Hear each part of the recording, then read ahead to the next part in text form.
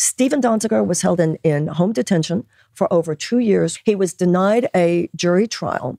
And Judge Preska, these people are all related to the Federalist Society, et cetera, on behalf of Chevron, basically, using a law firm which is Chevron related, has now thrown the book at him. And he is now in Danbury Prison mm-hmm. in Connecticut, uh, serving a six month prison right. sentence. The UN High Commissioner on Human Rights has called this political prisoner, has said that it is a human rights abuse, has said that he should be released and he should be paid money uh, in recompense. Greenpeace, uh, there's more and more of a building energy of, of the outrageousness of this. He's basically a political prisoner. And at this point, it's not just that Merrick Garland needs to step up. Merrick Bar- Garland needed to step up a while ago. Joe Biden should step up. Mm. Joe Biden should step up and commute the sentence.